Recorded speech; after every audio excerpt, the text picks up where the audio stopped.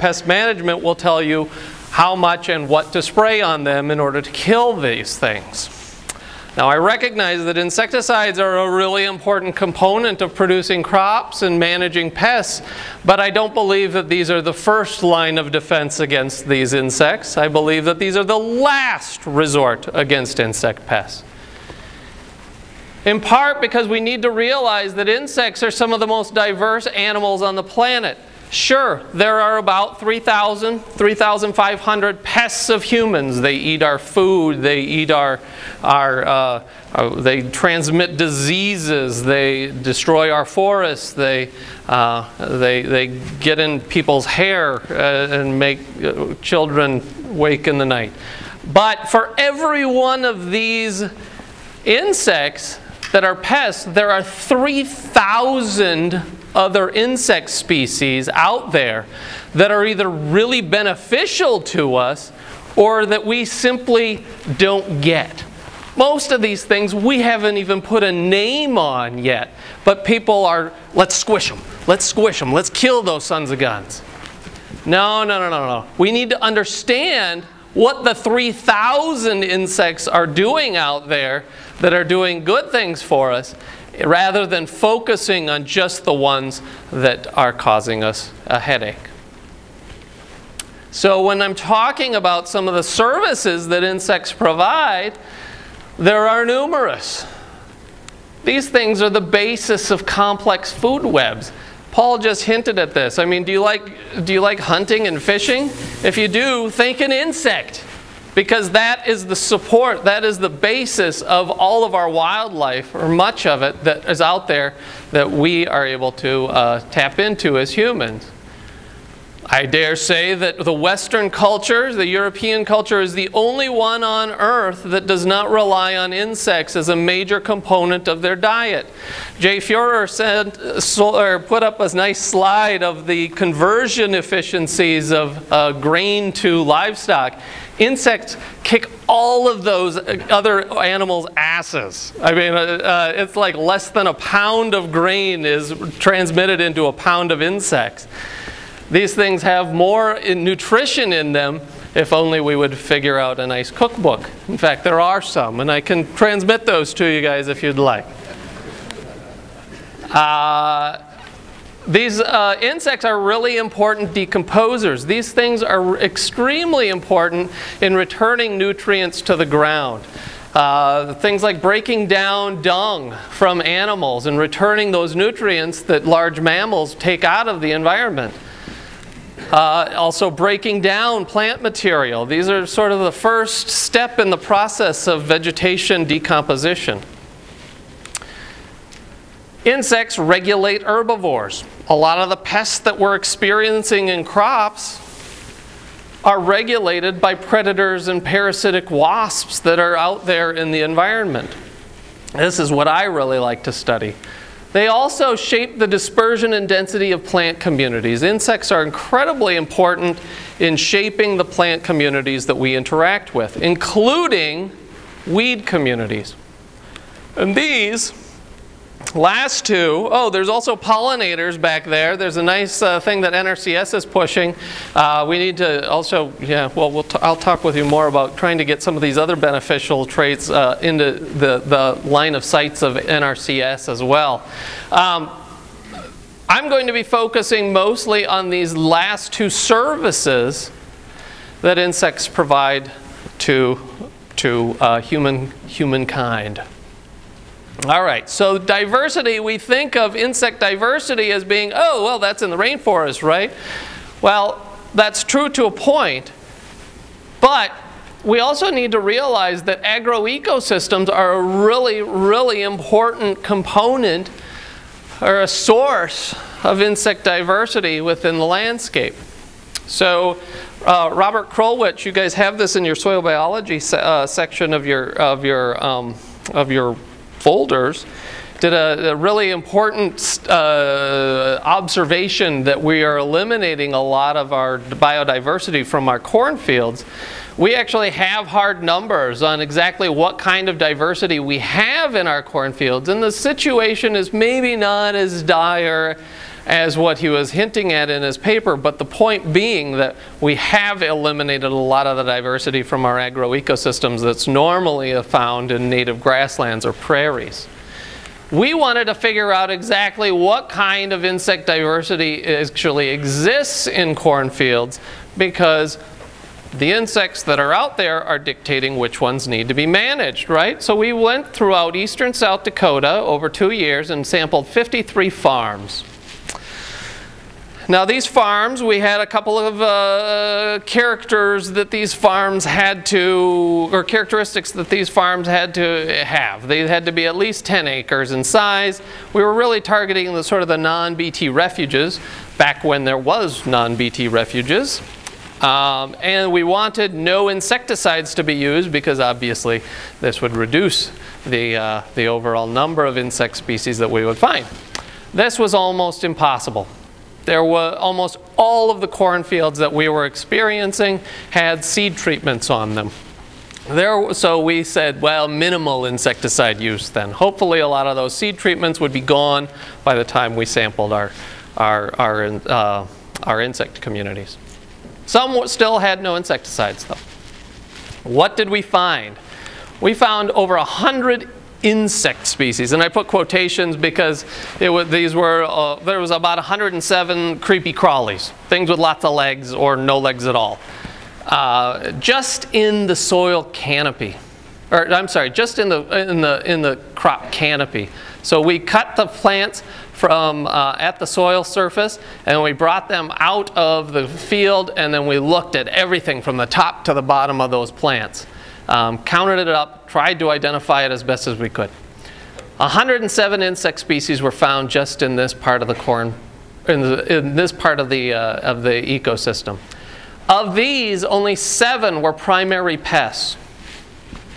Things like European corn borer, things like corn rootworms, things like aphids. But what was really interesting is that maybe one or two out of, of, these fields actually had pests at economically damaging levels. Mind you, these, these fields saw little or no insecticide use, but yet they still had no inse in, insect pests out there, very seldom. About 13% of these actually eat the corn plant in some way or another. They're herbivores, but they're not really hurting the corn plant, so it's not something that farmers actually need to manage. What's interesting is that given that these were not at economically damaging levels, it really begs the question, why the hell are we pumping so much insecticides and paying so much money in seed technology fees for BT to control a pest that doesn't exist there?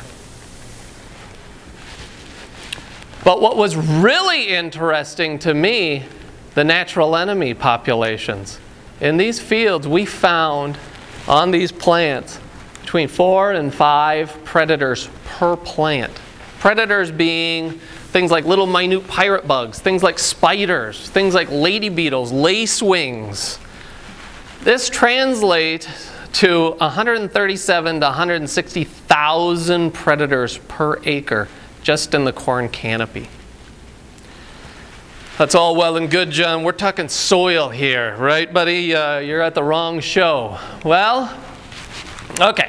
We've got data on that too, although we, it's a lot more difficult to assess what's going on in the soil sampling these things. It's a hell of a lot of work. Uh, so we got one cornfield that I've really described the living heck out of. We use soil cores. We've discovered 63 species. On the soil surface, we'd get on our hands and knees and look in quadrats, trying to get actual densities of these things. 86 just predator species now, guys. Pitfall traps. You dig a hole in the ground, things fall in it. 85 more species. Easily in the soil of this one cornfield, we found more than 200 species. Add to this the 100 species in the foliar population. In one cornfield, you can easily find 200, 300 species of insects absolutely amazing just how much diversity out there.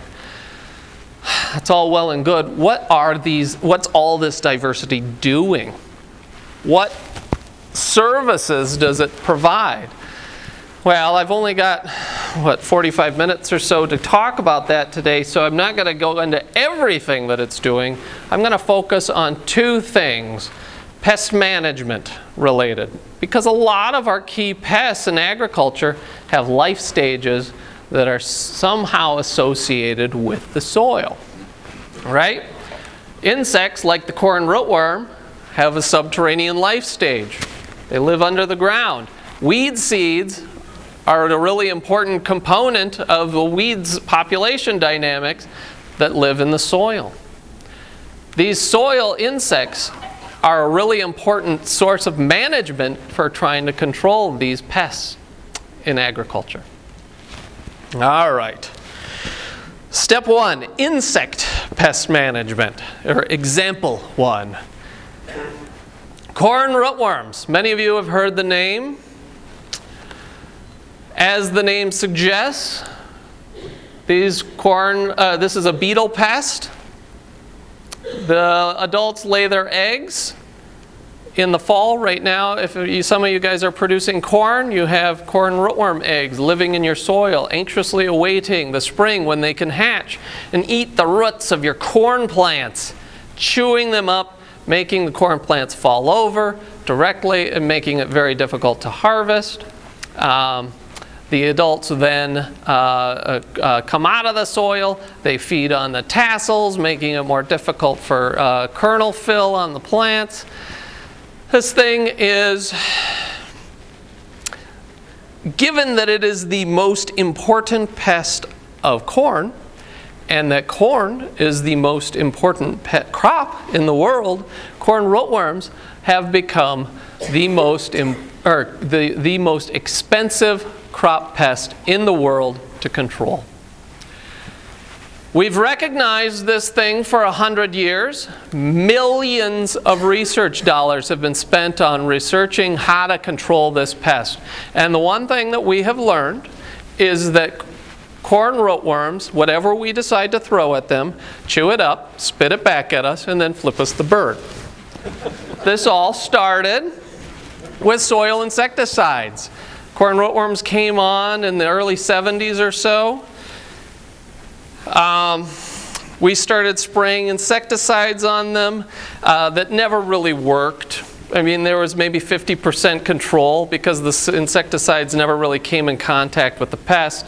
Oh, but then the pest became resistant to the insecticides anyway, so that technology got shot out of the water. Along comes crop rotation. Brilliant idea. It takes advantage of the biology of the pest, right? You plant soybeans after corn, those corn rootworm eggs that are anxiously awaiting the corn crop in your fields right now hatch into soybean fields. They try to eat the soybean roots, they die. Well, about 15 years ago, corn rootworms have, have, figured out not one way, but two ways to get around crop rotation. Rather than laying their eggs in corn plants, they lay their eggs in soybean fields so that they can fire, so that they can hatch in the next phase of the, of the crop sequence back into the cornfields again. Not only that, but another population evolved resistance because instead of overwintering one year, they now overwinter two years. They bypass the soybean phase of the rotation. Therefore, now we have rootworm, or rotation-resistant rootworms that are taking over the country. But don't worry about it, everybody. Stop thinking right now. Don't use your heads here because guess what? The solution to the problem is all in the bag. We have BT corn. BT corn kills corn rootworms. This corn seed also has insecticides on it. Insecticides kills corn rootworms, right? We already have field resistance to one strain of BT corn out in the environment. We have selected for re uh, BT resistance in the laboratory. Took about three generations. Insecticides are this, going to be the same story. We need to take a step back here, guys. We need to not be reacting using the same failed strategies over and over and over again to support a system that's broken to begin with. We need to take a step back and we need to figure out what is it that's causing these pest problems to begin with rather than reacting to them. So I am a predator ecologist. I landed in Brookings, South Dakota USDA ARS lab, which is the corn rootworm lab. Been researching corn rootworms for 30, 40 years. Um, I figured being a predator ecologist, I would start studying the predator, er, the predator uh, community of corn rootworms. I'll just pick up where everybody else has left off. This is obviously an important issue given the, the scale and scope of the pest and the fact that only 1% of eggs or less than 1% of eggs from, uh, actually turn into adults, most of them die in the soil. Something's got to be killing these things, right? There had been no concerted efforts to try to identify what biotic mortality factors were affecting corn rootworms under field conditions. A little bit of work had been done at our laboratory maybe 20 years ago, but it was, it was cursory to, to, to say the least. We had to start from scratch. How do you study a predator community to know even what's out there possibly eating corn, or corn rootworms that you could tap into as a source of management for this pest? Well, we had to develop some new technologies. Insect predators, for all their benefits, are pretty stupid. If there's a hole in the ground or a barrier, they run into the barrier and they turn left or right and then they fall in the holes. So we were able to use pitfall trapping to monitor the seasonal occurrence of predators that might be associated with different life stages of the pest. Now, a colleague of mine who's now since retired came up with this bad boy. This is a rotating pitfall trap. So every three hours it changes so that we're able to study not only when predators are available out over the season, but also when they're active over a 24 hour period. Now, insects that fall into these things, especially predators, end up eating everything else that's in the pitfall trap, so you have to kill them, right? So we have to put in a, a, a, a fluid that doesn't evaporate. We use antifreeze. Antifreeze has the added benefit of preserving DNA. So what we have is we had about 1,500 predators all that had these wonderful stomachs that were filled with their last meals before falling into the antifreeze. We developed a genetic technique that we could search the stomachs of these predators and identify not only which had been eating corn rootworm DNA, but how much of it they had consumed.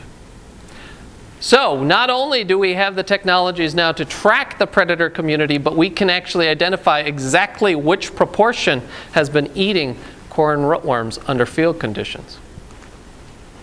What did we find? Well, the gut analysis revealed, uh, Diabrotica is corn rootworms, by the way, um, a very diverse predator community. This would include things like carabid beetles. There's another one. These are the little black beetles that are scurrying about on the soil surface.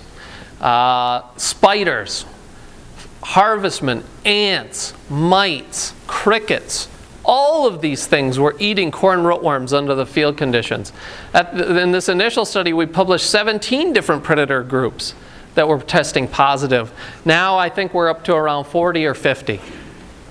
And 11% of this population was positive for pest DNA. Ah, geez, Jen, 11%. I'm really sorry about that. That's not very much. Well, actually, I was really, really pleased when I saw this number, and that's because you have to understand what we're really measuring here. As soon as an insect eats eats a meal, it instantly starts to digest its diet, er, this food, right? The DNA is only detectable for around maybe eight hours or so. That means that 11% of our predator population had eaten corn rootworms in the last eight hours. The other thing to remember is 11% of 1,500, eh, that's like, yeah, what, 150, 160 predators? That's not very much. But when you're starting to think about, well, our actual density samples uh, suggest 100 million predators per acre in the soil, possibly up to a billion predators per acre in the soil at Dakota Lakes Research Farm. 11% in the last eight hours, that's a lot of predation going on. When I first embarked on this project, most of the corn rootworm biologists dismissed it. There are no rootworm natural enemies. Well, we're proving them wrong. All right. So this is a really noisy graph. Um, this is the over the season. Um, this is how they used to measure date back in Caesar's time, I guess. I don't know, Julian date. Uh, we have when those pests were available, each of these instars or life stages of the larvae. This is when the predators are, are, are, are, out and walking around. What are these predators? Carabid, carabid beetle, uh, rove beetle, wolf spider, carabid, wolf spider, carabid, carabid, mites, little money penny spiders, carabid, crickets, field crickets. These are not something to stomp on, even when they come in your house. These are benefic beneficial. Another mite, carabid, spiders, and then harvestmen. The point of this graph is to show you that each of these rootworm life stages succumbs to a very different predator community over the season. This is a dynamic community. It changes as the season goes on. It also changes over a 24-hour period. We have some that are nocturnal. These are all those predator species. This is the time of day when they're out walking around. These are the day active species of predators. Some of them are around all the time, crickets again. Some of them walk around only during a three hour period of each day. So these very complex predator communities are structuring themselves so that they're not running into each other all the time in ways that they, these really diverse and abundant communities can, can persist in the environment. What does this mean? Well, when we're talking about predator populations, these can be managed in such a way by using things like, like cover crops or, or, or soil primers that Paul was just talking about to encourage these predator communities to become more abundant. Here we have a cover crop preceding corn versus bare soil preceding corn, and these are the predator populations that we were finding. This is root ratings. This is root damage caused by the pest. Root damage goes down as the number of rootworms that are killed goes by predators goes up. Predators are driving these, uh, these interactions and we can manage these predator communities using things like biodiversity. All right. So, diverse predator communities reside in cropland, right? I think we've demonstrated that. This is just kind of the first step in the project. We're trying to figure out which predators out of all of these different species that we can find in a cornfield are the ones that we need to be conserving. Which of these are the most important? Well, that's a really difficult question to answer because these communities are so dynamic. If we're targeting just one pest, we're ignoring all of the other potential services that these things could be consumed or that these things could be contributing as well. These communities change. Only some predators eat a particular target pest. Others might specialize on aphids. Others might specialize still on European corn borers. So what we really need to be thinking about is we need to take a step back instead of trying to look for a magic bullet we need to be trying to tailor our conservation effort at communities, not individual species. And recognizing that we're getting there, but we're still not there yet in understanding all of the different interactions of these communities that may drive, say, successful biological control.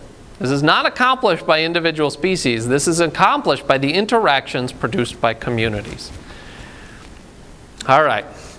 So many, some of you guys have seen that part of the talk before. This is something that I have not shown before. This is an idea that is kind of coming on strong with a lot of the ecologists, applied ecologists like myself.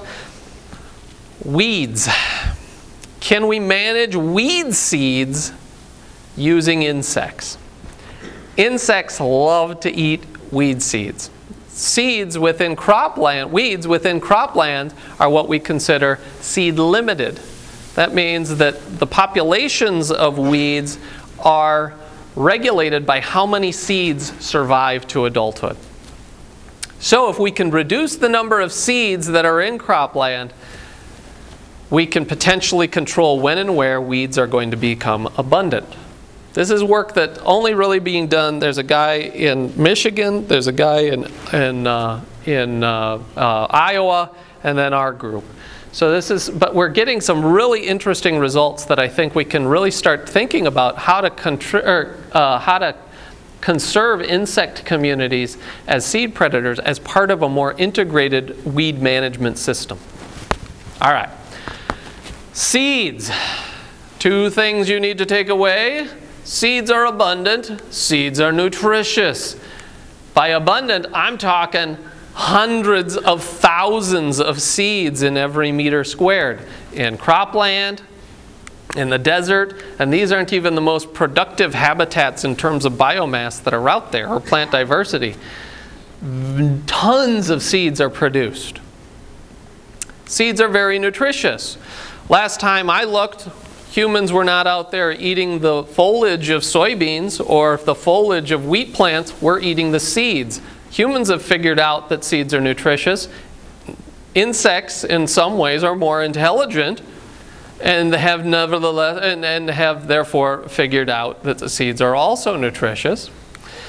I went through the literature in this book I wrote and I calculated, I tried to figure out what the nutritional content of insect prey was versus the nutritional content of seeds from the literature. Each of these numbers is the number of studies that actually looked at this or uh, that are published. And I found that in almost all of these categories, calories, protein content, lipid content or fats, and then carbs, seeds were either nutritionally superior to insect prey or equal in the case of protein content. Seeds are incredibly nutritious, and it's not surprising, therefore, that insects have tried to figure out ways to incorporate these things into their diets. So, which insects are we talking about here? Well, this is a soil health conference, I'm talking about the insects that are post-dispersal granivores, which is to say those insects that specialize on the seeds after they've fallen into the, from the plant and onto the ground. Most of the published work on these systems, and there's been a trickle of literature over the last 20 years, 30 years or so, suggests that ground beetles, ants, and crickets are the primary, in addition to rodents, are the primary granivores in most systems. The reason that these are the most important is because these are the groups, and I'm guilty as charged, uh, that entomologists really like to study. so this is actually probably a bias in the literature because carabid biologists figured out that carabids like to eat weed seeds, and so we study them. In reality, we have no idea what insects are out there consuming weed seed uh, communities in the natural environment. This is something that I thought was a, a major oversight, and I wanted to correct it. So, Step one in a conservation project is identify who the key players are. We cannot use DNA like I did with the corn rootworms in this instance because a plant, the foliage of a plant has the same DNA as the seed of a plant. And so we need a seed specific marker. Something that will tell us if we find it in the stomach of an insect that it can only have come from the seed we used uh, a buddy of mine down in uh, Arizona, he works with USDA ARS, uh, developed this protein marking technology. Essentially, you put a protein onto your food item that does not normally exist in the natural environment. In our case, we used rabbit immunoglobulin G, which is the blood, uh, it's a component of the blood of rabbits, which sounds, yeah, really awful when I put it that way. Uh, so we actually put nanogram quantities of this marker, this protein on, our, on these seeds. These in, in this case are dandelion seeds. Then you put the seeds out into the habitat. You collect insects, yank out their stomachs just like we did before, and then you run an ELISA, which is an enzyme-linked immunosorbent assay. Uh, the reason, okay, ELISAs are a very common uh, uh, diagnostic. Um, uh, rabbit IgG, why would we use rabbit blood? Well, that's because uh, the medical field uses this technology a lot. So you can get rabbit IgG, you can, you can get this, uh, for those of you interested, can get rabbit component of blood uh, very cheaply from, from a chemical company. Um, and, and so the ELISAs are really well developed for this protein. Um, ELISA sounds like a big sexy thing. Uh, this is something that actually we use in human society all the time. Uh, one example you may or may not have experience with is uh, pregnancy tests are an ELISA.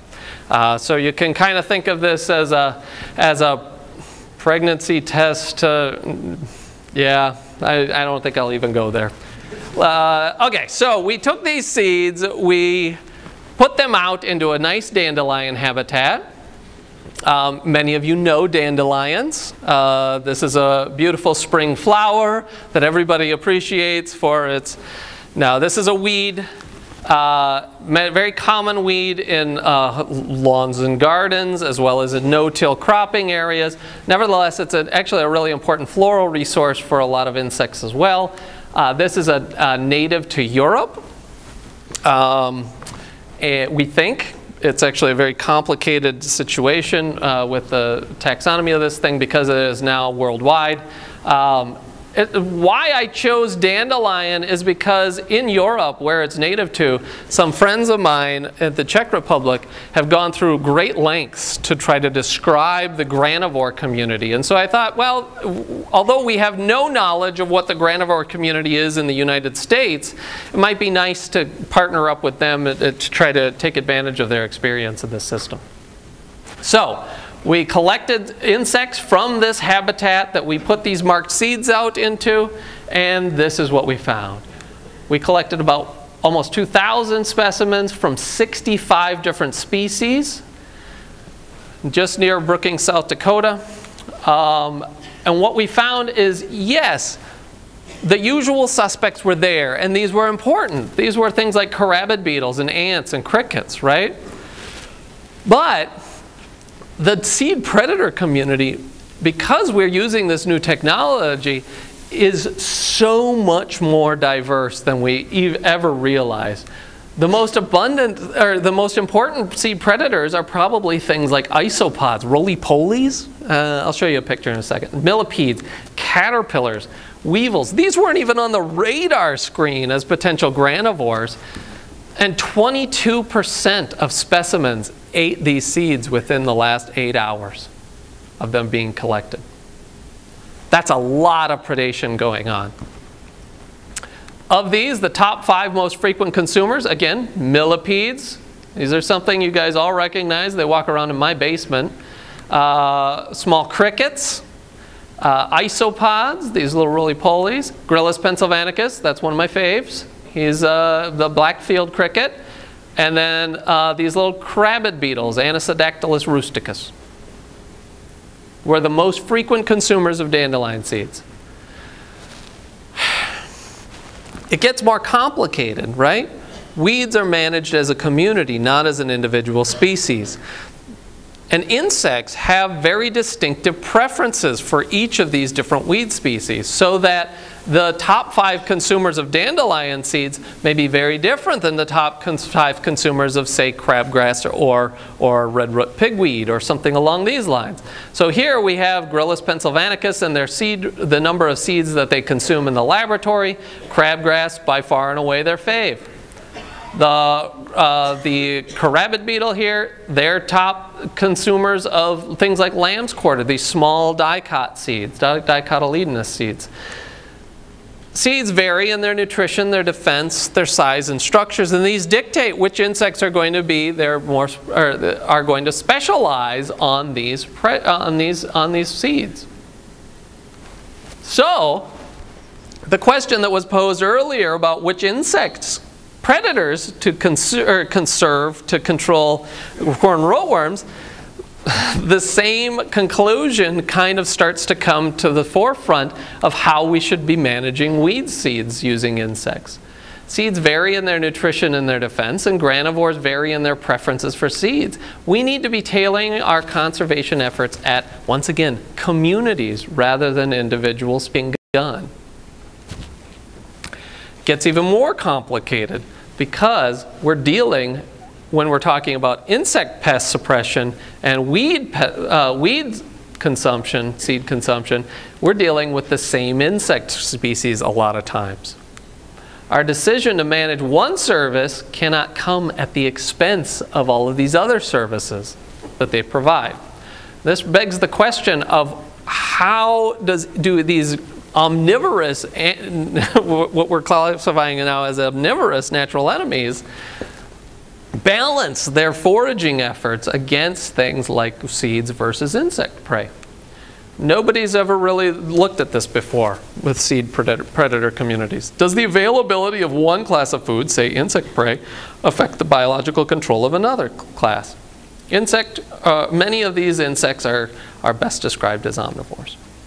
All right, so the central question here how, when we mimic uh, the local seed rain of a weed, how does that affect the local insect community, both in their abundance and in their foraging decisions? And we just got this published. It took a long time, oddly enough.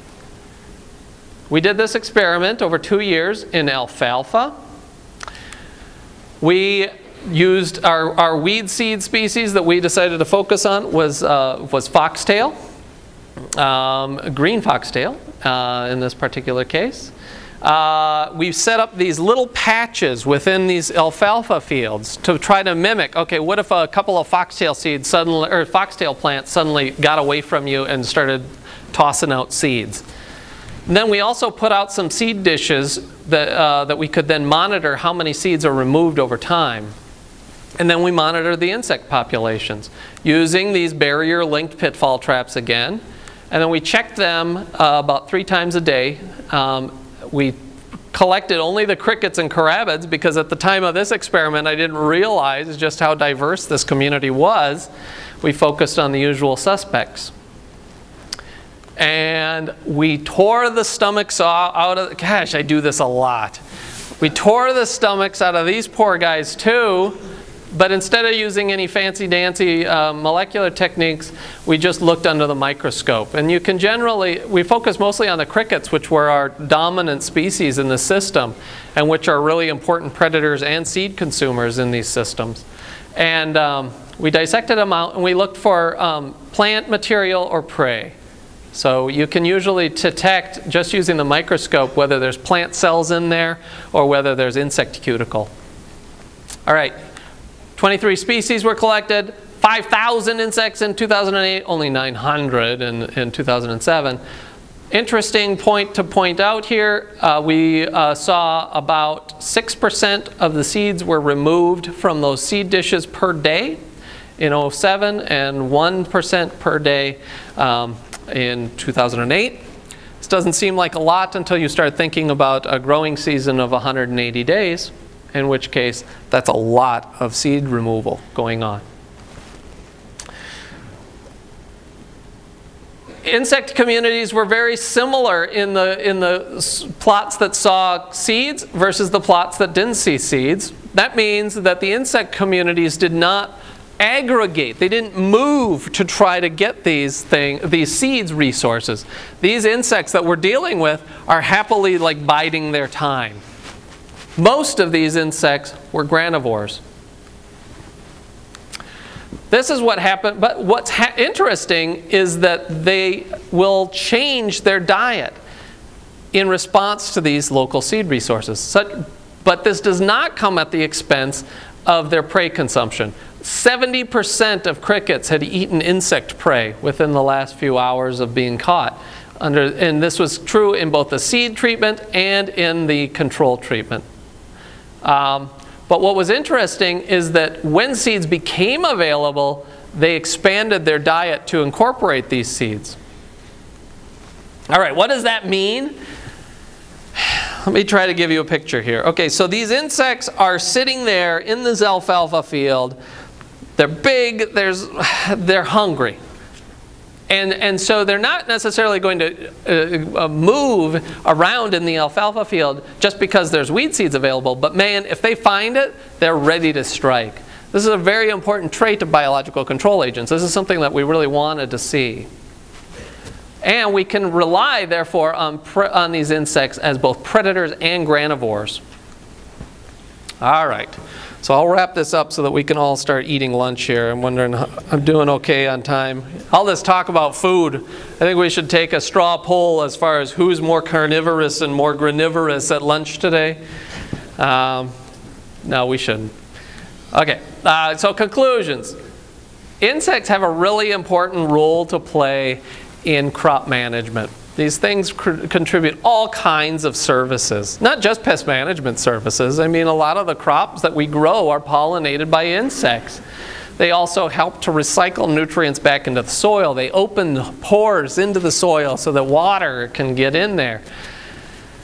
However, the community functions are extremely complex and difficult to predict.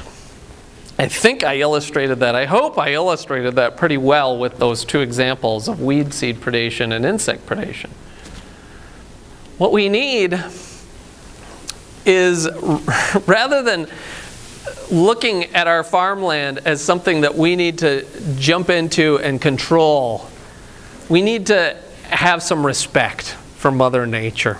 We need a humbler approach to pest management. We need to understand what's going on in the natural environment. And I sound like a broken record from what's been said earlier in this talk or er, in, the, in these in, the, in this morning's presentations. We need to understand the ecological processes that we are stripping from our cropland that normally regulate things like insect pest populations and weed populations and pathogens too. And we need to figure out what are the processes that are occurring in natural systems that make these not so problematic in natural systems, and we need to get those processes back into cropland. In this way, we're going to alleviate the problems of pests before they even occur, rather than getting on this pesticide treadmill that we're currently experiencing. We often think, it's easy to think, I'm a farmer or a land manager, this is somebody else's problem. This is, uh, this is the people that manage natural areas or, or, or the rainforest. This isn't, my, this isn't my gig. 25 to 40% of the terrestrial land surface on our planet is devoted to agroecosystems, guys. If, if we are not incorporated, this makes agroecosystems the largest biome on the planet Earth. If we are not involving farmers uh, in these decisions on how to conserve our soil resources and everything that they provide to us, then we're missing a really important opportunity. And events like this, this morning, really uh, give me inspiration that I think we can get there in the not too distant future. So many, many, many, many people helped out with all of this research that I presented here. Um, and and I don't know if I've got time or not for questions, but or whether we just want to go and eat. That's all I got. All right.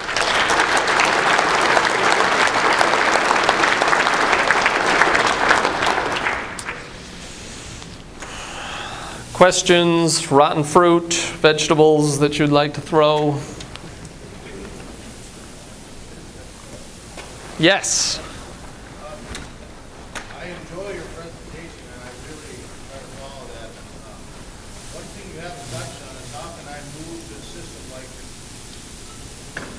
move to a system that you're talking about economically. Yes. You're moving one year one year to Godpool on the bank side to try to survive. This is a long-term commitment. You all need to pay the bills, so how do we do that? The central themes that we need to be replacing into our cropland are we need to be increasing diversity and we need to be reducing disturbance. There are agronomic practices that are profitable that we can use in order to do that. And I think we've touched on some of those this morning. At least I hope that we have, and probably more so this afternoon.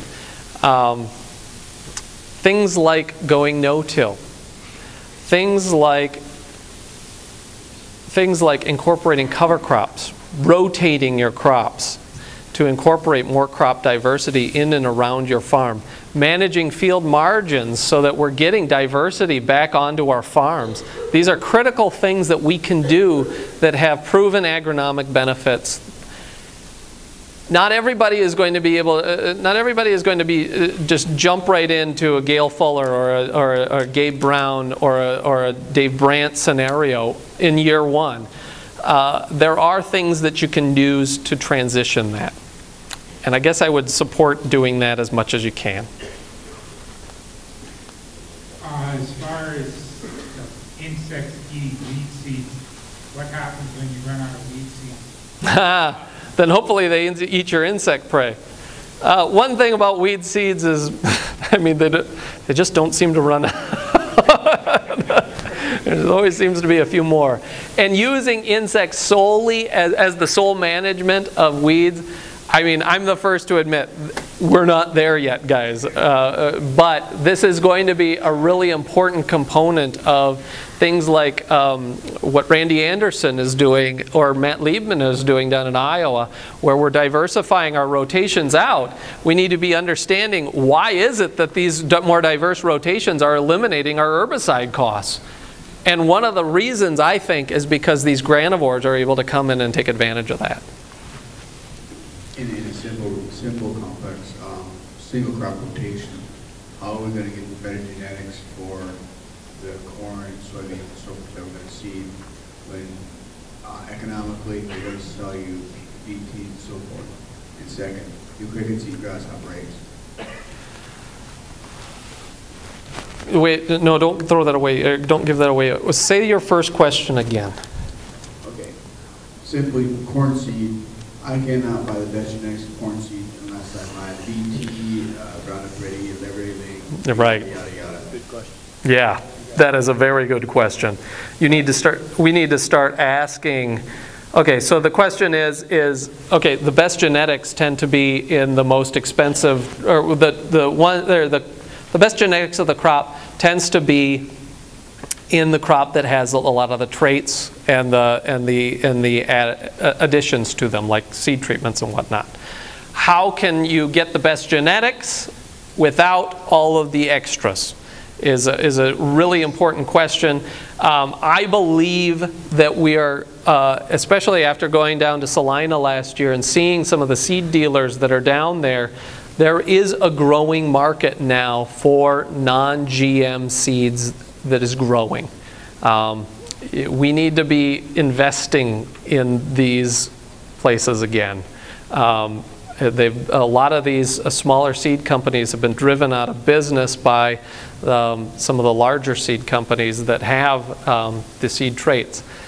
As the market develops, as farmers start asking for these things, ask for the best genetics, hold the seed treatments. Um, it isn't going to be overnight, though, and, and developing a relationship with the seed dealers, I think, is going to be really important. Um, your second question is Do cri- crickets eat grasshopper eggs? There are many things that eat grasshopper eggs. Crickets are probably one of them. I know of no specific examples of this because we're just starting to understand cricket feeding behavior. But there is a predator community that does. Uh, blister beetles eat grasshopper eggs. They're actually specialists on grasshopper eggs. So if you've got blister beetles around your farm, hopefully they're not getting into your hay because it could act, they, they have a, well, That's a long story. They, they, they produce a toxin that's actually an aphrodisiac mm, uh, that, that hurts horses, cantharidin. Yeah, yeah, yeah, yeah, sorry. Yeah, it's strong. it's a slippery slope. Would do elaborate on, uh, there are certain crops uh, in any given year that have higher infestations of insect pests, and they seem to devour certain fields. Um, Could you elaborate a little bit on how insects hone in on those fields, and for what particular reason they hone in on certain fields and uh, eliminate crops? Okay, so oftentimes insects that affect cropland, and there are exceptions, things like grasshoppers, especially that affect you guys around this part of the country, that are generalists. But for the most part, a lot of our specialists, our, pests of crops, the most important pests of crops, are specialists on that crop. They are looking for large, large monocultures of a particular species nature is trying to reset the balance, and they send in the herbivores to reset that balance. You often do not see large monocultures within natural systems. Herbivores keep those, keep those monocultures from occurring. We go out and we plant a, a single species, often with very little genetic diversity of that particular crop, on huge acres and then, not surprisingly, because we've also often tilled the heck out of it and, and not used any cover crops or something like this, we have set up a perfect scenario for the specialist pests to go crazy. Their natural enemies are not in that field. And so, um, this is really something that, uh, that, that uh, is driving a lot of what you're, I think, talking about back there. Um, why is it that we see these outbreaks of specific pests in a particular field? It's because we've eliminated a lot of the biotic resistance that would stop those pests from getting there to begin with. Good. Question, question, uh, we've been driven in an agricultural field to use Roundup chemical on our crops. Yes. Twice, sometimes three times during the year. What kind of ecological effect that on, uh, good bugs? That is a great question, and we are actually studying that very question. Um, we are, through the overuse of glyphosate in the United States of America, we have uh, selected for um, a weed community that is now resistant to glyphosate. We have changed what weeds are most abundant in that community, and because insect communities, beneficial insect communities, are often um, tied to specific plants that are in the environment or in a habitat, we are therefore having this, this uh, I would say, trickle up effect on all of these higher trophic levels. So we are reshaping the insect communities that are occurring within our crop plan. Um, what are the long term implications of this? I don't know, but uh, the answer that we are getting um, from um, conventional weed management approaches is more of the same. They are going to replace glyphosate tolerant crops with um, uh, 2,4-D resistant crops or dicamba resistant crops. If you guys have not started to look into this and, and, and see what the literature says about this, you should start because glyphosate is a really unique chemistry. It, it actually, amongst herbicides, this stuff is fairly tame. If we go back to the days of 2,4-D and, and dicamba, and we start applying this on most of the, of, the, of the terrestrial land surface of our country, look into it. One last question. Time for one more. All right. Thank you.